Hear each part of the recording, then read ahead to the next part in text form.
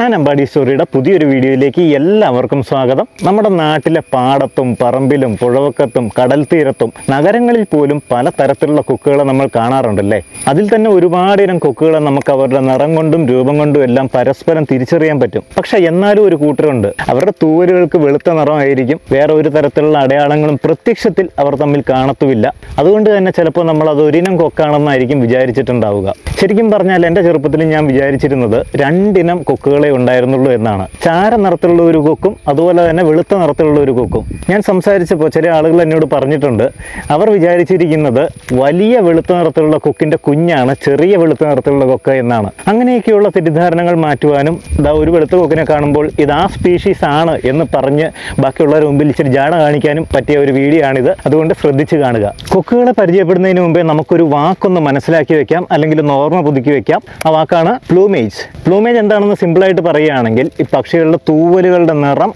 അതിന്റെ രൂപം അതിന്റെ അറേഞ്ച്മെന്റ് അതൊക്കെയാണ് ഈ പ്ലൂമേജ് എന്ന് പറയുന്നത്. അതായത് പക്ഷികളുടെ ശരീരത്തിലെ ആ തൂവലുകളുടെ ഒരു വിന്യാസത്തിനെയാണ് പ്ലൂമേജ് എന്ന് പറയുന്നത് എന്ന് സിമ്പിളായിട്ട് പറയാം. ഈ പ്ലൂമേജ് എന്ന വാക്ക് ഞാൻ പറഞ്ഞത് ബ്രീഡിംഗ് പ്ലൂമേജ് എന്ന് പറയുന്ന ഒരു മറ്റൊരു വാക്ക് പറയാൻ വേണ്ടിയിട്ടാണ്. പക്ഷികളുടെ പ്രജനന കാലത്ത് അതായത് അവർ ഇണചേരുകയും മുട്ടയിടുകയും ചെയ്യുന്ന ആ ഒരു കാലഘട്ടത്തിൽ ഒട്ടുമിക്ക പക്ഷികൾക്കും അവരുടെ തൂവലുകളിൽ കുറച്ച് വ്യത്യാസങ്ങൾ വരാറുണ്ട്. മിക്കവാറും ആൺപക്ഷികൾക്കാണ് അത് കൂടുതലായിട്ടും കണ്ടുവരുന്നത്. അവരുടെ തൂവലുകൾ പെൺപക്ഷിയെ അട്രാക്ട് ചെയ്യാൻ പാകത്തിൽ കുറച്ചുകൂടി കളർഫുൾ ആകും. ചിലപ്പോൾ ചില തൂവലുകൾ മാറിയിട്ട് കുറച്ച് നല്ല നീളമുള്ള ഭംഗിയുള്ള തൂവലുകൾ വരും. അങ്ങനെയൊക്കെയുള്ള കാര്യങ്ങളുണ്ട്. ആ ഒരു പ്ലൂമേജിനെയാണ് നമ്മൾ ബ്രീഡിംഗ് പ്ലൂമേജ് എന്ന് പറയുന്നത് എന്നൊന്ന് മനസ്സിലാക്കിയിരിക്കുക. അങ്ങനെയാണെങ്കിൽ നമുക്ക് നമ്മുടെ കൊക്കുകൾ ഏതൊക്കെയാണെന്നുള്ളത് നോക്കാം. വെള്ള കൊക്കുകളെ പരിചയപ്പെടുന്നതിന് മുമ്പേ നമുക്ക് അവരുടെ കൂടെ നടക്കാറുള്ള ചെറിയ ചാരക്കൊക്കെ ഏതാണെന്നുള്ളത് നോക്കാം. ഇന്ത്യൻ പോണ്ട് ഹെറോൺ അഥവാ കുളക്കൊക്ക് നമ്മുടെ നാട്ടിലൊക്കെ വളരെ സാധാരണമായിട്ട് കണ്ടുവരുന്ന ഒരു കൊക്കാണ്. അതുപോലെ തന്നെ ഈ ചെറിയ കൊക്കുകളിൽ വെച്ച് ഏറ്റവും എളുപ്പത്തിൽ തിരിച്ചറിയാൻ പറ്റുന്നതും ഇതിനെ തന്നെയാണ്. നമ്മൾ ഈ പറയുന്ന എല്ലാ കൊക്കുകളും തല ചുരുക്കി വെച്ചുകൊണ്ടും തല നീട്ടിപ്പിടിച്ചുകൊണ്ടും രണ്ട് രീതിയിൽ കാണപ്പെടാറുണ്ട്. നമ്മുടെ ഈ ചിത്രത്തിൽ നോക്കുമ്പോൾ തന്നെ നമുക്ക് കാണാൻ സാധിക്കും. അപ്പോൾ കഴുത്ത് നീണ്ടിരിക്കുന്നതോ കഴുത്ത് ചുരുങ്ങിയിരിക്കുന്നതോ നിങ്ങളുടെ ഐഡന്റിഫിക്കേഷന് പ്രശ്നമാവരുത്. എന്നാലും ഒരു ഐഡന്റിഫിക്കേഷന് വേണ്ടിയിട്ട് കൊക്കുകളുടെ കഴുത്ത് നീണ്ടിരിക്കുന്നത് ഒബ്സർവ് ചെയ്യാൻ മാക്സിമം ശ്രമിക്കുക. ഇവരുടെ നോൺ ബ്രീഡിംഗ് സമയത്ത് അഥവാ പ്രജനനം നടത്തുന്ന കാലമല്ലാത്തപ്പോൾ തവിട്ട് നിറത്തിലുള്ള തൂവലുകളാണുള്ളത്. അത് ചിലപ്പോൾ ഇത്ര ബ്രൈറ്റ് ആയിട്ടുള്ള തവിട്ട് നിറമാകണമെന്നില്ല. ചിലപ്പോൾ കുറച്ച് ചാര നിറത്തിലാണെങ്കിലും നമുക്ക് ഇവരെ കൃത്യമായിട്ട് മനസ്സിലാക്കാൻ പറ്റും. Birds of the Indian subcontinent എന്ന് പറയുന്ന ഒരു പുസ്തകം പ്രകാരം ഈ കുളക്കൊക്കിന്റെ വലിപ്പം എന്ന് പറയുന്നത് നാൽപ്പത്തിരണ്ട് സെന്റിമീറ്റർ മുതൽ നാൽപ്പത്തി അഞ്ച് സെന്റിമീറ്റർ വരെയാണ് കുട്ടികൾ ആരെങ്കിലും ഈ വീഡിയോ കാണുന്നുണ്ടെങ്കിൽ നിങ്ങൾക്ക് എളുപ്പത്തിൽ ഫീൽഡിൽ വെച്ച് മനസ്സിലാക്കാൻ നിങ്ങളുടെ ബോക്സിലുള്ള സ്കെയിലിന്റെ വലിപ്പം പതിനഞ്ച് സെന്റിമീറ്റർ ആണ്. പിന്നെ വേറൊരു വലിയ സ്കെയിൽ കൂടിയുണ്ട് അതിന് മുപ്പത് സെന്റിമീറ്റർ ആണ് വലിപ്പം. ആ സ്കെയിലുകളൊന്ന് ഓർത്ത് നോക്കുക. അപ്പോൾ ഏകദേശം മൂന്ന് പതിനഞ്ച് സെന്റിമീറ്റർ സ്കെയിലിന്റെ ഒക്കെ വലിപ്പം വരും. ഇവർ കഴുത്ത് നീട്ടി നിൽക്കുന്ന ആ ഒരു അവസ്ഥയിൽ ഇനി ബ്രീഡിംഗ് പ്ലൂമേജിലേക്ക് വന്നു കഴിഞ്ഞാൽ ഇവരുടെ കളറിന് വ്യത്യാസം വരുന്നുണ്ട്. നിങ്ങൾക്ക് ഈ ഫോട്ടോയിൽ നോക്കി കഴിഞ്ഞാൽ കറക്റ്റ് ആയിട്ട് മനസ്സിലാക്കാൻ സാധിക്കും. പറക്കുന്ന സമയത്ത് ഇവരുടെ ചിറകുകൾ വെളുത്ത നിറത്തിലാണെങ്കിലും മുതുകിൽ തവിട്ട് നിറം കൃത്യമായിട്ട് കാണാൻ സാധിക്കും. ഇപ്പൊ ഞാൻ ഈ ഒരു പേജിൽ ഉപയോഗിച്ചിരിക്കുന്ന ചിത്രങ്ങളെല്ലാം ഞാൻ എടുത്തത് തന്നെയാണ്. അപ്പൊ നിങ്ങൾക്ക് വേറെ എവിടെയെങ്കിലും ഇത് ഉപയോഗിക്കണമെന്നുണ്ടെങ്കിൽ നോൺ കൊമേഴ്ഷ്യൽ യൂസിന് എവിടെ വേണമെങ്കിലും ഉപയോഗിക്കാം. എന്റെ പേരവിടെ സജസ്റ്റ് ചെയ്യുകയാണെങ്കിൽ നന്നായിരിക്കും. ഇനി ഇതുപോലെ വരുന്ന ചില ചിത്രങ്ങൾ ഞാൻ വേറെ ആളുകളുടെ ഫോട്ടോസ് യൂസ് ചെയ്യുന്നുണ്ട്. അപ്പോൾ ഞാൻ അവരുടെ കറക്റ്റ് ആയിട്ടുള്ള ആട്രിബ്യൂഷൻസ് പറയാം. അതുപോലെ തന്നെ അത് ഡിസ്ക്രിപ്ഷനിൽ കൊടുത്തിട്ടും ഉണ്ടാകും അതൊക്കെ നോക്കി മാത്രം ആ ഫോട്ടോസ് യൂസ് ചെയ്യുക കേട്ടോ. ഇപ്പൊ നമ്മൾ ഈ ഒരു തവിട്ട് നിറത്തിലുള്ള കുളക്കൊക്കിനെ കണ്ടു കഴിഞ്ഞു. ഇനി നമുക്ക് വെളുത്ത കൊക്കുകളെ തിരിച്ചറിയാൻ പഠിക്കാം. ആദ്യമായിട്ട് ഞാൻ പരിചയപ്പെടുത്തുന്ന വെളുത്ത കൊക്ക് നമ്മൾ തൊട്ട് മുൻപേ കണ്ട കുളക്കൊക്കിന് അത്രയും തന്നെ അല്ലെങ്കിൽ അതിനേക്കാൾ ഒരു അല്പം മാത്രം വലിപ്പം കൂടുതലുള്ള ഒരു ചെറിയ വെളുത്ത കൊക്കാണ് കാറ്റിൽ ഇഗ്രറ്റ് എന്ന കാലിമുണ്ടി. കാലി എന്നതുകൊണ്ട് ഉദ്ദേശിക്കുന്നത് കന്നുകാലികളെയാണ്. മുണ്ടി എന്നത് കൊക്കുകളെ വിളിക്കുന്ന മറ്റൊരു പേരാണ്. കന്നുകാലികളുടെ കൂടെ നടക്കുന്ന മുണ്ടി എന്നുള്ള രീതിയിലായിരിക്കണം കാലിമുണ്ടി എന്നുള്ള പേര് വന്നിരിക്കുന്നത്. എന്ന് കരുതി കന്നുകാലികളുടെ കൂടെ നടക്കുന്ന എല്ലാ കൊക്കുകളും കാലിമുണ്ടിയാണെന്ന് വിചാരിക്കുകയും ചെയ്യരുത്. അതിന് കൃത്യമായിട്ടുള്ള പോയിന്റേഴ്സ് ഉണ്ട്. പോയിന്റേഴ്സ് എന്ന് പറഞ്ഞാൽ ഇവരെ ഐഡന്റിഫൈ ചെയ്യാൻ നമുക്ക് ഉപയോഗിക്കാവുന്ന കുറച്ച് സൂചകങ്ങൾ അഥവാ കുറച്ച് ലക്ഷണങ്ങൾ. നേരത്തെ പറഞ്ഞതുപോലെ തന്നെ കാലിമുണ്ടിയും ഒരു ചെറിയ കൊക്കാണ്. Birds of the Indian subcontinent പ്രകാരം നാൽപ്പത്തെട്ട് മുതൽ അൻപത്തിമൂന്ന് വരെ സെന്റിമീറ്റർ വലിപ്പമാണ് കാലിമുണ്ടിക്കുള്ളത്. അതിന്റെ ഒപ്പം തന്നെ ഞാൻ ഒരു കാര്യം പറയാം. കാറ്റലിഗ്രറ്റ് എന്ന് പറയുന്ന ഒരു പക്ഷിക്ക് രണ്ട് സബ് സ്പീഷീസുകളുണ്ട് പലയിടത്തും ഇപ്പൊ ആ രണ്ട് സബ് സ്പീഷീസുകളെ സെപ്പറേറ്റ് സ്പീഷീസുകളായിട്ട് തന്നെ കണക്കാക്കുന്നുണ്ട്. നമ്മുടെ കേരളത്തിലേക്ക് ഏറ്റവും കൂടുതൽ അല്ലെങ്കിൽ മോസ്റ്റ് പ്രോബബിളി കാണാൻ ചാൻസ് ഉള്ളത് ഈസ്റ്റേൺ കാറ്റലിഗ്രേറ്റ് എന്ന് പറയുന്ന സബ് സ്പീഷീസ് ആണ്. അതല്ലാതെ വെസ്റ്റേൺ കാറ്റലിഗ്രേറ്റ് എന്ന് പറയുന്ന മറ്റൊരു സബ് സ്പീഷീസ് കൂടിയുണ്ട്. നിങ്ങൾക്ക് ചിത്രം നോക്കുമ്പോൾ രണ്ടുപേരെയും കാണാൻ സാധിക്കും. നോൺ ബ്രീഡിംഗ് പ്ലൂമേജിൽ ഇവരെ കണ്ടു കഴിഞ്ഞാൽ ഏകദേശം ഒരേപോലെ തന്നെയാണുള്ളത് നമ്മളിപ്പോൾ ഈ പടത്തിൽ കാണുന്ന സാധാരണ പ്ലൂമേജിലുള്ള പക്ഷി ഈസ്റ്റേൺ കാറ്റലിഗ്രേറ്റ് തന്നെയാണ്. നമ്മുടെ നാട്ടിൽ കാണുന്ന പക്ഷി തന്നെയാണ്. വെസ്റ്റേൺ കാറ്റലിഗ്രേറ്റിനെ കണ്ടു കഴിഞ്ഞാലും ഏകദേശം നോൺ ബ്രീഡിംഗ് സമയങ്ങളിൽ ഇതുപോലെ തന്നെ ഇരിക്കും. കേരളത്തിൽ വളരെ വളരെ വളരെ കുറച്ച് റിപ്പോർട്ടുകൾ മാത്രമേ ഉണ്ടായിട്ടുള്ളൂ. അതിലേക്ക് അധികം ചിന്തിക്കാൻ പോകണ്ട. ആ ഒരു വെസ്റ്റേൺ കാറ്റലിഗ്രറ്റ് എന്ന് പറയുന്ന കൊക്ക് ഇവിടെ വരാൻ വളരെ സാധ്യത കുറവാണെന്ന് മാത്രം മനസ്സിലാക്കി വെക്കുക. ബ്രീഡിംഗ് പ്ലൂമേജിലാണ് ഈ രണ്ട് സബ് സ്പീഷീസുകളെ കൃത്യമായിട്ട് മനസ്സിലാക്കാൻ പറ്റുന്നത്. നമുക്ക് ആ ചിത്രം നോക്കുമ്പോൾ തന്നെ വേർതിരിച്ചറിയാൻ പറ്റും. ഇതിലെ ഈ വെസ്റ്റേൺ കാറ്റലിഗ്രറ്റിന്റെ ചിത്രം ഞാൻ വിക്കിമീഡിയ കോമൺസിൽ നിന്ന് എടുത്തതാണ്. സെയ്നൽ സെബേസി എന്ന് പറയുന്ന ഒരു വ്യക്തി എടുത്ത ചിത്രമാണത്. അതിന് C C by S A four point zero എന്ന് പറയുന്ന ക്രിയേറ്റീവ് കോമൺ ലൈസൻസ് ആണ് ഉള്ളത് അപ്പൊ നിങ്ങൾ ഈ ഒരു കാറ്റലിഗ്രറ്റിന്റെ ഈ ഒരു പേജ് നിങ്ങൾ എവിടെയെങ്കിലും യൂസ് ചെയ്യുന്നുണ്ടെങ്കിൽ ആ ഒരു വ്യക്തിക്ക് കൂടി കറക്റ്റ് ആയിട്ടുള്ള ആട്രിബ്യൂഷൻസ് കൊടുക്കണം. ഞാൻ എന്റെ ഈ വീഡിയോയുടെ ഡിസ്ക്രിപ്ഷനിൽ അത് കറക്റ്റ് ആയിട്ട് കൊടുത്തിട്ടുണ്ട്. അത് കോപ്പി പേസ്റ്റ് ചെയ്താൽ മതി. ഈ കാറ്റലിഗ്രറ്റുകളുടെ കൃത്യമായിട്ടുള്ള പോയിന്റേഴ്സ് പറയുകയാണെങ്കിൽ നോൺ ബ്രീഡിംഗ് പ്ലൂമേജിൽ വെളുത്ത നിറത്തിലുള്ള തൂവലുകളായിരിക്കും ഉണ്ടാവുക. ചുണ്ടുകൾ മഞ്ഞ നിറത്തിലായിരിക്കും. കാലുകൾ കറുത്ത നിറത്തിലുമായിരിക്കും. ഇവയെ മൊത്തത്തിൽ കാഴ്ചയിൽ ഒരു ഉണ്ട ഇഗ്രറ്റ് ആയിട്ട് നമുക്ക് തോന്നും. പറഞ്ഞു മനസ്സിലാക്കാൻ വേണ്ടിയിട്ടാണ് അങ്ങനെ പറഞ്ഞത്. കുറച്ച് വണ്ണമുള്ള ഒരു ഇഗ്രറ്റ് ആയിട്ട് നമുക്ക് തോന്നും. അതുപോലെ തന്നെ ഇവരെ തലയിലേക്ക് സൂക്ഷിച്ചു നോക്കിക്കൊണ്ട് കൃത്യമായിട്ട് നമുക്ക് കാറ്റലിഗ്രറ്റിനെ മറ്റ് ഗ്രറ്റ്സിൽ നിന്നും മനസ്സിലാക്കാം. ഇവയുടെ തലയുടെ മുകൾ ഭാഗത്തിന് ഒരു ഉരുണ്ട ഷേപ്പ് ആയിരിക്കും ഉണ്ടാവുക. ഇവയുടെ ചുണ്ടിന്റെ മുൻവശത്ത് കുറച്ച് വളവുണ്ടായിരിക്കും. ആ വളവ് നമുക്ക് കൃത്യമായിട്ട് കാണാൻ സാധിക്കും. ആ വളവും ഉരുണ്ട തലയും നോക്കി തന്നെ നമുക്കിത് കാറ്റലിഗ്രറ്റ് ആണെന്ന് കൺഫേം ചെയ്യാൻ പറ്റും. പെട്ടെന്ന് ഒന്നുകൂടി പറയുകയാണെങ്കിൽ ഞാൻ ഫീൽഡിൽ കാറ്റലിഗ്രറ്റിനെ ഐഡന്റിഫൈ ചെയ്യുന്നത് ചെറിയ കൊക്കായിരിക്കണം വെളുത്ത തൂവലുകളായിരിക്കണം അല്ലെങ്കിൽ ഇവരുടെ ബ്രീഡിംഗ് പ്ലൂമേജിൽ കൃത്യമായിട്ട് ഐഡന്റിഫൈ ചെയ്യാൻ പറ്റും. അതുപോലെ കറുത്ത കാലുകളാണ് ഉരുണ്ട തലയാണ് മഞ്ഞ ചുണ്ടുകളാണ്. ചുണ്ടിന്റെ മുൻവശം അല്പം വളഞ്ഞിട്ടാണ് ഉണ്ടാവുക. ബ്രീഡിംഗ് പ്ലൂമേജിലേക്ക് വരുമ്പോൾ ചുണ്ടിന് കുറച്ച് ഓറഞ്ചിഷ് കളർ കയറി വരാറുണ്ട്. കാറ്റലിഗ്രറ്റിന് മനസ്സിലായി എന്ന് വിശ്വസിച്ചുകൊണ്ട് നമുക്ക് അടുത്ത കൊക്കിലേക്ക് കടക്കാം. ലിറ്റിൽ ഇഗ്രറ്റ് അഥവാ ചിന്നമുണ്ടി. പേര് പറയുന്നത് പോലെ തന്നെ ചിന്നമുണ്ടിയാണ്. നമ്മുടെ കാറ്റലിഗ്രറ്റിനെ പോലെയും പോൺ ഹെറോണിനെ പോലെയും തന്നെ ചെറിയൊരു കൊക്കാണ് ഇവർ. എന്നാൽ കാറ്റലിഗ്രറ്റിനേക്കാൾ അല്പം കൂടി മാത്രം വലിപ്പം കൂടുതലുണ്ട്. Birds of the Indian subcontinent പുസ്തകം പ്രകാരം അൻപത്തഞ്ച് മുതൽ അറുപത്തിയഞ്ച് സെന്റിമീറ്റർ വരെ ഉയരമാണ് ഇവയ്ക്കുള്ളത്. അപ്പോൾ രണ്ട് വലിയ സ്കെയിലുകളുടെ വലിപ്പം എന്നുള്ളത് ഉദ്ദേശിക്കാം ഞാൻ ഈ പറയുന്ന ഉയരം എന്ന് പറയുന്നത് മാക്സിമം ഇവർ കഴുത്ത് നീട്ടി നിൽക്കുമ്പോഴുള്ള വലിപ്പമാണ് കേട്ടോ. നമ്മൾ ഈ പറയുന്ന വെള്ളക്കൊക്കുകളിൽ വെച്ച് വളരെ എളുപ്പത്തിൽ മനസ്സിലാക്കാൻ സാധിക്കുന്ന ഒരു കൊക്കാണ്. കാരണം കറുത്ത ചുണ്ടുകളുള്ള വെളുത്ത തൂവലുള്ള പക്ഷിയാണിത്. അതുപോലെ തന്നെ ഇമ്പോർട്ടന്റ് ആയിട്ടുള്ള മറ്റൊരു പോയിന്റർ ആണ് കറുത്ത നീളമുള്ള കാലുകളും. എന്നാൽ അവയുടെ വിരലുകൾ വരുന്ന പാദമുള്ള ഭാഗം മഞ്ഞ നിറത്തിലുമാണെന്നുള്ളത്. അതുപോലെ തന്നെ കാഴ്ചയിൽ വളരെ മെലിഞ്ഞ രൂപമായിരിക്കും. ഇവർ പറന്നു പോകുമ്പോഴാണെങ്കിലും നീണ്ടു നിൽക്കുന്ന കറുത്ത കാലുകളുടെ അറ്റത്ത് മഞ്ഞ നിറത്തിലുള്ള പാദവും കറുത്ത ചുണ്ടുകളും കാണുമ്പോൾ തന്നെ നമുക്കിത് ലിറ്റിൽ ഇഗ്രറ്റ് ആണ് എന്നുള്ളത് കൺഫേം ചെയ്യാൻ പറ്റും. ഞാൻ പേഴ്സണലി ബേഡിങ് ചെയ്യുമ്പോൾ എവിടെയെങ്കിലും കറുത്ത ചുണ്ടുള്ള വെളുത്ത ഇഗ്രറ്റിനെ കാണുമ്പോൾ ഇവയുടെ പാദം കൂടി കാണാൻ ശ്രമിക്കും. അത് മഞ്ഞക്കാൽ കണ്ടു കഴിഞ്ഞാൽ മോസ്റ്റ് പ്രോബബ്ലി അത് ലിറ്റിൽ ഇഗ്രറ്റ് തന്നെയാണ്. ഇതൊക്കെയാണ് ഇവയുടെ ഏറ്റവും ഇമ്പോർട്ടന്റ് ആയിട്ടുള്ള പോയിന്റേഴ്സ് ബ്രീഡിംഗ് പ്ലൂമേജ് ആയി കഴിയുമ്പോഴത്തേക്കും ഇവയുടെ തലയുടെ പുറകിലേക്ക് രണ്ട് നീളമുള്ള തൂവലുകൾ വരാനും അതുപോലെ തന്നെ ചിറകിന്റെയും വാലിന്റെയും ഭാഗത്ത് നല്ല രസമുള്ള നീളമുള്ള പഞ്ഞി പോലെ കിടക്കുന്ന തൂവലുകൾ ഉണ്ടാവുകയും ചെയ്യും. അതുപോലെ ഈ കണ്ണിന്റെ ചുറ്റുമുള്ള ഒരു ഭാഗം ലോർ എന്നാണ് അതിന് പറയുന്നത്. ആ ലോറിന്റെ ഭാഗം ഒരല്പം നീല നിറത്തിൽ കൂടിയാകും. അപ്പൊ ഞാൻ ഫീൽഡിൽ ഐഡന്റിഫൈ ചെയ്യുന്നത് എങ്ങനെയാണെന്ന് ഒറ്റയടിക്കുന്നു പറയുകയാണെങ്കിൽ വെളുത്ത നിറത്തിലുള്ള മെലിഞ്ഞ ചെറിയ കൊക്ക് അതിന്റെ ചുണ്ട് നീണ്ട് കറുത്ത നിറത്തിലായിരിക്കും. എന്നാൽ അതിന്റെ കാലുകൾ കറുത്ത നിറത്തിലും പാദം മഞ്ഞ നിറത്തിലുമായിരിക്കും. പക്ഷെ ഈ ലിറ്റിൽ ഇഗ്രറ്റുമായിട്ട് സംശയം തോന്നിയേക്കാവുന്ന മറ്റൊരു കൊക്ക് കൂടിയുണ്ട്. അതിനെക്കുറിച്ച് ഞാൻ ഡീറ്റെയിൽഡ് ആയിട്ട് ഇവിടെ പറയുന്നില്ല. അങ്ങനെയുള്ള ഒരു കമ്പാരിസണ് സാധ്യത ഉണ്ട് എന്ന് മനസ്സിലാക്കിയിരിക്കുക. തിരമുണ്ടി എന്ന വെസ്റ്റേൺ റീഫ് ഹെറോൺ അഥവാ വെസ്റ്റേൺ റീഫ് ഇഗ്രറ്റ് ഇവർ ഒരേ ഫാമിലിയിൽ പെടുന്ന പക്ഷികളാണ്. അതുകൊണ്ട് തന്നെ വളരെയേറെ സാമ്യങ്ങളുണ്ട്. തിരമുണ്ടിക്ക് മൂന്ന് കളറുകൾ അഥവാ മൂന്ന് മോർഫുകളാണുള്ളത്. ഒരേ പക്ഷിയുടെ തന്നെ കളർ വ്യത്യാസങ്ങളെയാണ് മോർഫുകൾ എന്ന് നമ്മൾ പറയുന്നത്. ഞാനിവിടെ കാണിച്ചിരിക്കുന്നത് രണ്ട് മോർഫുകളെയാണ്. Dark മോർഫും white മോർഫും. ഇത് കൂടാതെ ഇന്റർമീഡിയറ്റ് മോർഫ് എന്ന് പറയുന്ന ഒരു കളർ ഉണ്ട് അത് ഇതിനിടയ്ക്ക് വരുന്ന ഒരു ലൈറ്റ് ചാര നിറമാണ്. ഡാർക്ക് മോർഫിലും ഇന്റർമീഡിയറ്റ് മോർഫിലുമുള്ള തിരമുണ്ടികളെ കണ്ടു കഴിഞ്ഞാൽ ഐഡന്റിഫൈ ചെയ്യാൻ പാടൊന്നും ഉണ്ടാകത്തില്ല. പക്ഷെ ഈ വൈറ്റ് മോർഫിലുള്ള തിരമുണ്ടി ചിലപ്പോഴൊക്കെ അവയുടെ ചുണ്ട് മഞ്ഞ നിറത്തിലായിരിക്കും. അങ്ങനെയാണെങ്കിൽ അതിനെ തിരമുണ്ടി ആയിട്ട് തന്നെ നമുക്ക് കൺഫേം ചെയ്യാൻ സാധിക്കുമെങ്കിലും ചിലപ്പോഴൊക്കെ അവയെ കംപ്ലീറ്റ്ലി ലിറ്റിൽ ലിഗ്രറ്റ് പോലെ കാണാനും സാധിക്കാറുണ്ട്.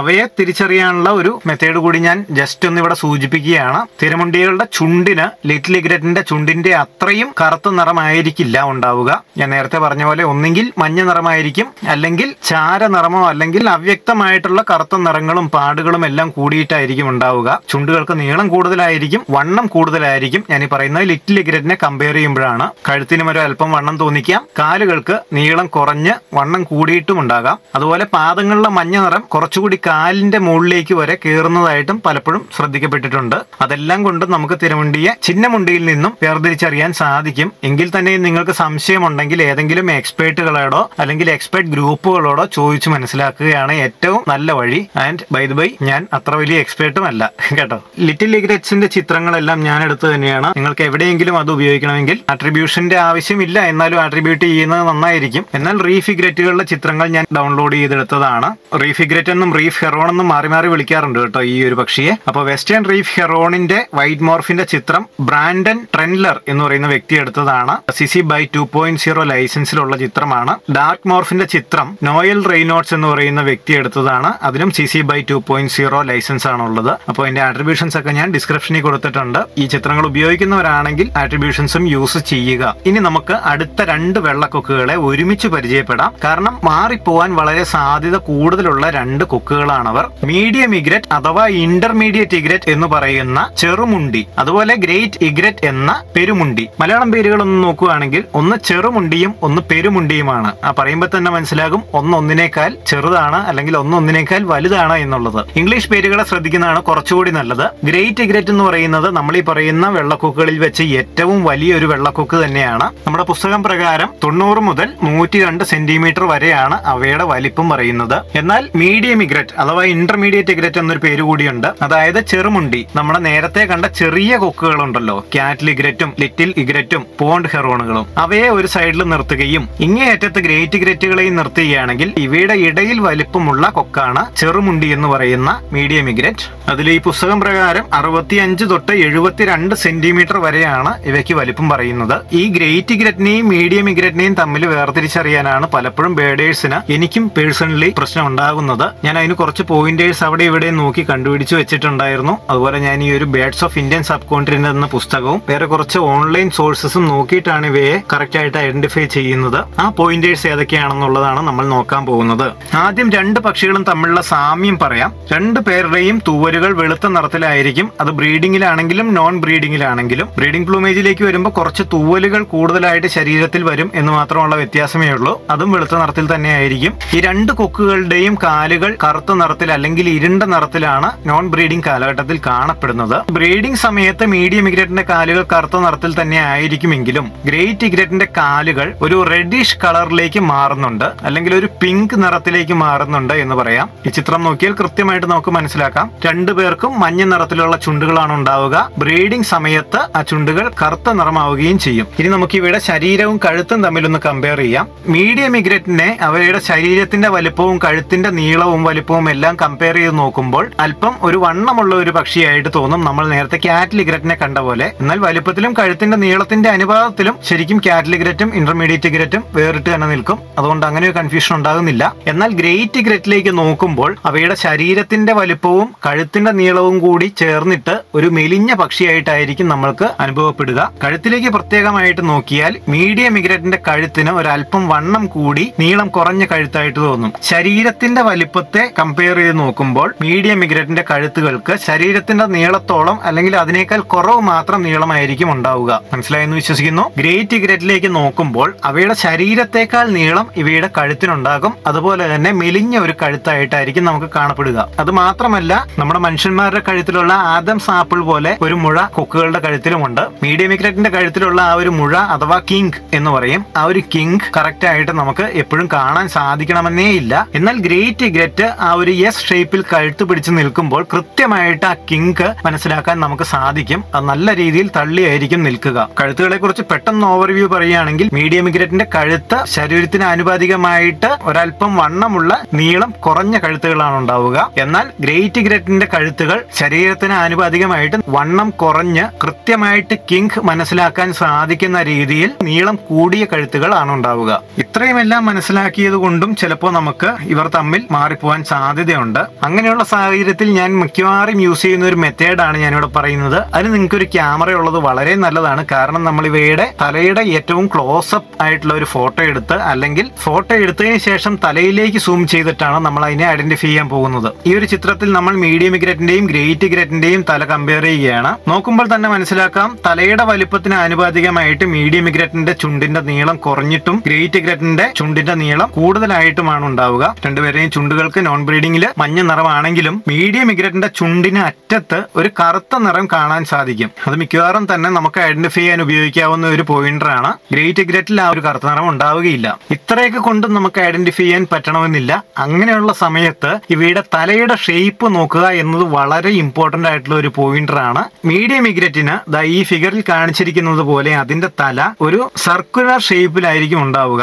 എന്നാൽ ഗ്രേറ്റ് ഇഗ്രറ്റിന്റെ തലയിലേക്ക് നോക്കുമ്പോൾ അല്പം കൂടി ആംഗുലർ ആയിട്ടുള്ള ഒരു ഷേപ്പാണ് നമുക്ക് കാണാൻ സാധിക്കുന്നത്. അതിന്റെ നെറ്റി ഭാഗം ഓൾമോസ്റ്റ് പരന്ന പോലെ ആയിരിക്കും ഉണ്ടായിരിക്കുക. അത് മാത്രമല്ല ആ നെറ്റിയിൽ നിന്നൊരു നേർരേഖ വരച്ചാൽ ഓൾമോസ്റ്റ് അതിന്റെ ചുണ്ടിന്റെ അറ്റം വരെ ഒരു നേർരേഖ പോലെ തന്നെ നമുക്ക് വരയ്ക്കാനും സാധിക്കും. അത് നല്ല ഒരു പോയിന്റർ ആണ്. അത് പ്രത്യേകമായിട്ട് ശ്രദ്ധിക്കുക. ഒന്നുകൂടി പറയുകയാണെങ്കിൽ മീഡിയം ഇഗ്രറ്റിന്റെ തലയും നെറ്റി ഭാഗവും എല്ലാം ചേർന്ന് ഒരു സർക്കുലർ ഷേപ്പിലായിരിക്കും ഉണ്ടാവുക. എന്നാൽ ഗ്രേറ്റ് ഇഗ്രറ്റിന്റെ നെറ്റിയും ചുണ്ടും എല്ലാം ചേർന്നിട്ട് ഒരു നേർരേഖ സൃഷ്ടിക്കുന്നത് പോലെ ഒരു ആംഗുലർ ഷേപ്പിലായിരിക്കും ഉണ്ടാവുക. അതുകൊണ്ടും നിങ്ങൾക്ക് കൺഫേം ചെയ്യാൻ സാധിച്ചില്ലെങ്കിൽ ഏറ്റവും നല്ല ഒരു കാര്യമുണ്ട്. അതിനായിട്ട് ഇവയുടെ കണ്ണിന് താഴെയുള്ള ഭാഗത്തേക്ക് ശ്രദ്ധിക്കുക. ഈ ചുണ്ടുകളിൽ നിന്ന് നീണ്ട് പുറകിലേക്ക് വരുന്ന ഒരു വര കാണാം. അതിന് ഗേപ്പ് ലൈൻ എന്നാണ് പറയുന്നത്. മീഡിയം ഇഗ്രറ്റിന്റെ കാര്യത്തിൽ ഈ ഗേപ്പ് ലൈൻ അവസാനിക്കുന്നത് ഇവയുടെ കണ്ണുകൾക്ക് മുൻപേ ആയിരിക്കും. അതായത് കണ്ണിനെ കടന്ന് തലയുടെ പുറകിലേക്ക് വീണ്ടും ആ ഗേപ്പ് ലൈൻ നീളുന്നില്ല. എന്നാൽ ഗ്രേറ്റ് ഇഗ്രറ്റിന്റെ കാര്യത്തിൽ ആ ഒരു ഗേപ്പ് ലൈൻ കൃത്യമായിട്ടും ഇവയുടെ കണ്ണുകളെയും കടന്ന് തലയുടെ പുറകിലേക്ക് നീളുന്നുണ്ട്. അത് വളരെ വളരെ വളരെ ഇമ്പോർട്ടന്റ് ആയിട്ടുള്ള ഒരു പോയിന്ററാണ് ഞാൻ മിക്കവാറും ആ ഒരു പോയിന്റർ ആണ് ഏറ്റവും കൂടുതലായിട്ട് ശ്രദ്ധിക്കാൻ ശ്രമിക്കാറുമുള്ളത്. അപ്പോ ഒന്നുകൂടി പറയുകയാണെങ്കിൽ രണ്ട് പക്ഷികളും ഇടത്തരം വലിപ്പം അല്ലെങ്കിൽ വലിയ വലിപ്പമുള്ള രണ്ട് വെള്ളക്കൊക്കുകളാണ്. കഴുത്തുകൾക്ക് മറ്റു കൊക്കുകളെക്കാൾ ഏറെ നീളമുണ്ടായിരിക്കും. ഇവരെ തമ്മിൽ തിരിച്ചറിയാനുള്ള പോയിന്റേഴ്സ് എന്ന് പറയുന്നത് ഇവയുടെ ശരീരത്തിന്റെയും കഴുത്തിന്റെയും അനുപാതങ്ങൾ അവയുടെ നീളം വണ്ണം എന്നിവയൊക്കെയാണ്. തലയിലേക്ക് കൃത്യമായിട്ട് ശ്രദ്ധിക്കാൻ ശ്രമിക്കുക. മീഡിയം ഇഗ്രറ്റിന്റെ തല സർക്കുലർ ഷേപ്പിലും ഗ്രേറ്റ് ഇഗ്രറ്റിന്റെ തല ആംഗുലർ ഷേപ്പിലുമാണ് ഉണ്ടാവുക. മീഡിയം ഇഗ്രറ്റിന്റെ ചുണ്ടുകൾ ആനുപാതികമായിട്ട് വണ്ണമുള്ള നീളം കുറഞ്ഞ ചുണ്ടുകളാണെങ്കിൽ ഗ്രേറ്റ് ഗ്രറ്റിന്റെ ചുണ്ടുകൾ അവയുടെ ശരീരത്തിനും കഴുത്തിനും എല്ലാം ആനുപാതികമായിട്ട് നീളം കൂടി വണ്ണം കുറഞ്ഞ ചുണ്ടുകളാണ്. മീഡിയം ഇഗ്രറ്റിന് മാത്രമായിട്ട് ചുണ്ടിനറ്റത്ത് ഒരു കറുത്ത പാടുകൂടിയുണ്ട് പിന്നെ ഏറ്റവും ഇമ്പോർട്ടന്റ് ആയിട്ട് ഇവയുടെ കണ്ണുകളുടെ താഴെ ചുണ്ടുകളുടെ പുറയിലേക്ക് നീണ്ടുവരുന്ന ഗേപ്പ് ലൈൻ എവിടെ അവസാനിക്കുന്നു എന്നുള്ളത് കൂടി നോക്കുക. ഒരു കാര്യം കൂടി നേരത്തെ പറഞ്ഞ കണ്ണിന് ചുറ്റുമുള്ള ഭാഗമുണ്ട്. ലോർ എന്നാണ് അതിന് പറയുന്നത്. ബ്രീഡിംഗ് പ്ലൂമേജിൽ ഈ ലോറിന് കളർ വ്യത്യാസം വരുന്നുണ്ട്. മീഡിയം ഇഗ്രറ്റിന് അവയുടെ ലോറുകൾ ഒരു ഗ്രീനിഷ് യെല്ലോ കളറിലേക്ക് മാറും. അതുപോലെ ബ്രീഡിംഗ് പ്ലൂമേജിൽ ഗ്രേറ്റ് ഇഗ്രറ്റിന്റെ ലോറുകൾ ബ്ലൂയിഷ് കളറിലേക്ക് മാറുന്നതും കാണാം. അതുകൂടി ഒന്ന് ഓർത്തു വെക്കുക. ഇന്റർമീഡിയറ്റ് ഇഗ്രറ്റിന്റെ ബ്രീഡിംഗ് പ്ലൂമേജിൽ ഞാൻ ഉപയോഗിച്ചിരിക്കുന്നത് നമ്മുടെ മലയാളി കൂടിയായിട്ടുള്ള അഫ്സർ നായകൻ എന്ന് പറയുന്ന വ്യക്തി എടുത്ത ഒരു ചിത്രമാണ്. C C by S A three point zero licence ആണ് അതിലുള്ളത്. നേരിട്ട് കണ്ടു പരിചയമില്ലെങ്കിലും ചില സമയങ്ങളിൽ ചില പക്ഷികളെ ഐഡന്റിഫൈ ചെയ്യാൻ എന്നെ സഹായിച്ചിട്ടുള്ള വ്യക്തിയാണ്. അദ്ദേഹത്തിന് പ്രത്യേകമായിട്ട് താങ്ക്സ് ഗ്രേറ്റ് ഇഗ്രറ്റിന്റെ ചിത്രത്തിൽ അതിന്റെ ഫുൾ ഫിഗറിന്റെ കഴുത്തിന് താഴോട്ടുള്ള ഭാഗം മറ്റൊരു വ്യക്തിയുടെ ഫോട്ടോയിൽ നിന്നും ഞാൻ എടുത്തതാണ്. കാരണം ഇതിന്റെ ഒരു കംപ്ലീറ്റ് രൂപം കിട്ടാൻ വേണ്ടിയിട്ടാണ് അങ്ങനെ ചെയ്തത്. അദ്ദേഹത്തിന്റെ പേര് ചാൾസ് ജെ ഷാർപ്പ് എന്നാണ്. അതും വിക്കിമീഡിയ കോമൺസിൽ നിന്നാണ് ഞാൻ എടുത്തിരിക്കുന്നത്. C C by S A four point zero ആട്രിബ്യൂഷനിലുള്ള ഫോട്ടോയാണ് അപ്പൊ ഇതിന്റെ എല്ലാം ആട്രിബ്യൂഷൻസും കാര്യങ്ങളും ഞാൻ ഡിസ്ക്രിപ്ഷനിൽ കൊടുത്തിട്ടുണ്ട്. ഇതൊക്കെ യൂസ് ചെയ്യുന്നവരുണ്ടെങ്കിൽ അതുകൂടി കോപ്പി ചെയ്യാൻ വേണ്ടിയിട്ടാണ് ഞാൻ പ്രത്യേകമായിട്ട് ഇത് എടുത്തു പറയുന്നത്. ഇവർക്കെല്ലാവർക്കും താങ്ക് സോ മച്ച് വെള്ളക്കൊക്കുകളെ ഐഡന്റിഫൈ ചെയ്യുന്ന പറയുന്ന ഒരു കാര്യത്തിലേക്ക് നിങ്ങളുടെ ഒരു ഇൻട്രൊഡക്ഷൻ വീഡിയോ ആയിട്ട് മാത്രം ഈ വീഡിയോ എടുക്കുക. ഈ ഒരു വീഡിയോ കണ്ടതുകൊണ്ട് മാത്രം നിങ്ങൾക്ക് ഐഡന്റിഫൈ ചെയ്യാൻ പറ്റണമെന്നില്ല. ഫീൽഡിൽ ചെല്ലുമ്പോൾ പക്ഷികളെ കാണുമ്പോൾ ഈ പറഞ്ഞ പോയിന്റേഴ്സ് എല്ലാം മനസ്സിൽ സൂക്ഷിച്ചുകൊണ്ട് ഐഡന്റിഫൈ ചെയ്യാൻ ശ്രമിക്കുക. ഇത്രയും പോയിന്റേഴ്സ് അറിയാമെങ്കിലും നിങ്ങൾക്ക് എപ്പോഴെങ്കിലും ഒരു സംശയം ഉണ്ടെങ്കിൽ അതിന്റെ ഫോട്ടോസ് എടുക്കാൻ പറ്റുമെങ്കിൽ എടുത്തിട്ട് ഏതെങ്കിലും എക്സ്പേർട്സിനോടോ എക്സ്പേർട്ട് ഗ്രൂപ്പുകളോടോ ചോദിക്കുന്നത് തന്നെയാണ് ഏറ്റവും നല്ല കാര്യം. നിങ്ങളെ ഒന്ന് പരീക്ഷിക്കാൻ വേണ്ടി ഞാനിവിടെ ഒരു എട്ട് ഫോട്ടോ കാണിച്ചിട്ടുണ്ട്. ഒന്ന് രണ്ട് മൂന്ന് തൊട്ട് എട്ട് വരെ നമ്പർ ചെയ്തിട്ടാണ് ഫോട്ടോസ് ഉള്ളത്. ഇതിലുള്ളത് നമ്മളിപ്പോൾ കണ്ട വെള്ള കൊക്കുകളാണ്. വെസ്റ്റേൺ ട്രീ ഫിഗരറ്റ് അഥവാ വെസ്റ്റേൺ ട്രീ ഫിയറോൺ ഇതിലില്ല. ഇത് ഏതൊക്കെ പക്ഷികളാണെന്നുള്ളത് കൃത്യമായിട്ട് ഐഡന്റിഫൈ ചെയ്യാൻ നിങ്ങൾ ജസ്റ്റ് ഒന്ന് ശ്രമിച്ചു നോക്കുക. അതിന് വേണ്ടിയിട്ട് നമ്മുടെ പോയിന്റേഴ്സ് ഉപയോഗിക്കുക. എന്നിട്ട് വൺ ടു ത്രീ നമ്പർ ചെയ്തുകൊണ്ട് പറ്റുമെങ്കിൽ ഇതിന്റെ കമന്റിൽ അതൊന്ന് കറക്റ്റ് ആയിട്ട് കമന്റ് ചെയ്യുക. തെറ്റിയാലും കുഴപ്പമില്ല. ആരും കളിയാക്കാൻ വരത്തില്ല. കളിയാക്കുന്നതിന് നമ്മൾ ഇടിക്കുന്നതായിരിക്കും. നിങ്ങൾ പഠിക്കാൻ ശ്രമിക്കുന്നുണ്ട് എന്നുള്ളതിന്റെ തെളിവാണ് തെറ്റുക എന്നുള്ളത്. ശ്രമിക്കാതിരിക്കുന്നതിനേക്കാൾ ഏറ്റവും നല്ല കാര്യവും അത് തന്നെയാണ്. അപ്പോൾ ഇത്രയൊക്കെയാണ് നമ്മൾ പെട്ടെന്ന് കാഴ്ചയിൽ വെളുത്ത തൂവലുകൾ മാത്രമുള്ളത് കൊണ്ട് ഒരേ പക്ഷിയാണെന്ന് ചിന്തിച്ചു പോകാൻ സാധ്യതയുള്ള വെള്ളക്കൊക്കുകളെ തിരിച്ചറിയാനുള്ള കുറച്ച് വഴികൾ. എന്നാൽ തന്നെ നിങ്ങൾക്ക് സംശയമുണ്ടെങ്കിൽ ആ ഫോട്ടോ എടുത്ത് ഏതെങ്കിലും എക്സ്പേർട്സിനെ കാണിച്ച് ബൈ ദ വൈ ഞാൻ ഒരു എക്സ്പേർട്ട് ആണെന്ന് ഞാൻ പറയുന്നില്ല എനിക്കും ചിലപ്പോൾ തെറ്റിപ്പോവാം. ഏതെങ്കിലും ഒരു എക്സ്പേർട്ട് ഗ്രൂപ്പുകളിലോ എവിടെയെങ്കിലും ചോദിച്ചു മനസ്സിലാക്കിയതിന് ശേഷം മാത്രം ആ പക്ഷിയെ നിങ്ങൾ കൺഫേം ചെയ്യുക. എന്തെങ്കിലും സംശയമുണ്ടെങ്കിൽ ഞാൻ ഈ ഒരു വീഡിയോയുടെ താഴെ ഒരു ലിങ്ക് കൊടുത്തിട്ടുണ്ട്. ബേഡ് കൗണ്ട് ഇന്ത്യയുടെ ഒരു ലിങ്കാണ്. അതിൽ കയറി കഴിഞ്ഞാൽ ഈ പറയുന്ന വെള്ളക്കൊക്കുകളെ കൃത്യമായിട്ട് പോയിന്റർ അനുസരിച്ച് തിരിച്ച് തിരിച്ച് താരതമ്യം ടാമിങ് ചെയ്ത് കാണിച്ചിട്ടുണ്ട്. സംശയങ്ങളുണ്ടെങ്കിൽ ചോദിക്കുക. ഇനി എന്തെങ്കിലും കൂടുതലായിട്ട് അറിയാവുന്നവരാണെങ്കിൽ കമന്റിൽ ആരെങ്കിലും സംശയം ചോദിച്ചിട്ടുണ്ടെങ്കിൽ അതിന് റിപ്ലൈ കൊടുക്കാനും ശ്രമിക്കുക. അങ്ങനെ വെള്ള കുക്കുകളെ ഐഡന്റിഫൈ ചെയ്ത് നമുക്ക് മറ്റുള്ള ആൾക്കാരെ അതായത് കുറച്ചെങ്കിലും ഇൻട്രസ്റ്റ് ഉള്ള ആൾക്കാരെ കാണിച്ച് ഇത് കാറ്റലിഗ്രറ്റ് ആണ് ഇത് അപ്പുറത്തേക്കുന്ന ഇന്റർമീഡിയറ്റ് ആണ് എന്നൊക്കെ പറഞ്ഞ് നമുക്ക് വേണമെങ്കിൽ ഞെട്ടിക്കാൻ സാധിക്കും. അപ്പോൾ അതിനും ട്രൈ ചെയ്യുക. അപ്പോൾ നമുക്ക് മറ്റൊരു വീഡിയോയിൽ കാണാം. അതുവരെ ബൈ